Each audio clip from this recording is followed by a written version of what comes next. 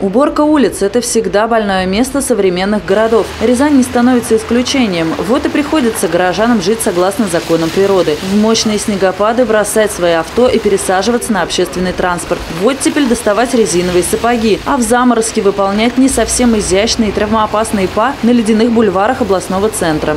Так и сегодня можно увидеть, как служба по благоустройству города вместо борьбы с наледью убирают остатки и так растаявшего за теплые выходные снега, выпавшего еще в начале января.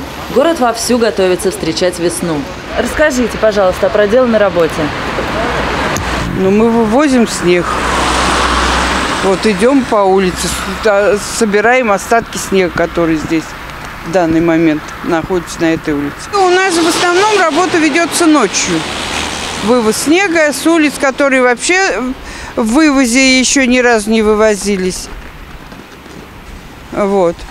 А он, днем у нас один только вот экипаж, две машины. Получается, что службы выехали убирать снег с обочин, когда он уже почти растаял. Возникает вопрос, насколько на данный момент гражданам необходима такая уборка. Ведь им приходится испытывать трудности от работы этого экипажа. Служба убирает снег на центральных улицах во время утреннего час пика. Спецтехника периодически перегораживает дорогу и затрудняет движение транспорта. И даже пугает пешеходов, потому что выезжает на тротуары для того, чтобы зачерпнуть маленькие комочки снега. Но даже не главное, ведь спецслужбы города обходят стороной другую проблему волнующих горожан.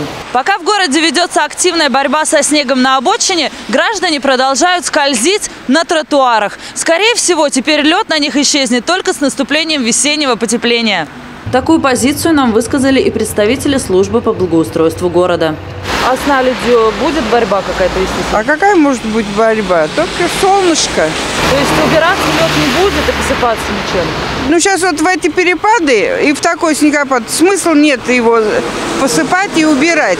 По одной простой причине. Сегодня вот его убрали, завтра он опять снег пошел, и тут же опять э, чуть подморозило, опять образовалась эта наледь. Представители службы по благоустройству города отметили, что уборка наледи все-таки может начаться с приходом стабильного весеннего потепления и плюсовой температуры. Интересно была откомментированная ситуация с теми дорогами, которые на протяжении всей зимы были покрыты льдом и остаются скользкими до сих пор.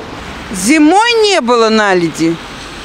Потому что зимой выпал снег и мороз. Снег просто, не, он не образует наледь. Но отчаиваться рязанцам не стоит, ведь несмотря на любые причины рабочих, убирать наледь или не делать этого, весна, по прогнозам синоптиков, придет в город вовремя. А значит, вместе с холодом уйдут и травмоопасные проблемы.